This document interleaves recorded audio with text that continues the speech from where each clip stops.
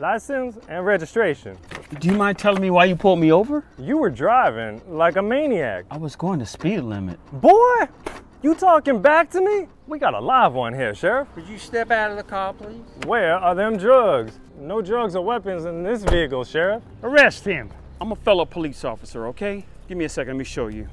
Don't move! Hey! Hands up! Man, I'm reaching for my badge! Lower your weapon. See?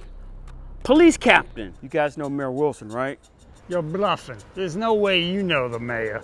Captain Porter, long time no see. How you doing, my friend? You got some nerve, boy. You're the one who's stopping people who've done absolutely nothing wrong. Or do you guys do that to every black person that passes through your county? Governor Wilson, he owes me a favor. Maybe I'll bring it up to him also. You know the governor? We were in college together. He's a great friend and a great statesman. Wouldn't you agree? Deputy, come on. Hey, make sure y'all look me up when y'all come to Mango Park now, you hear?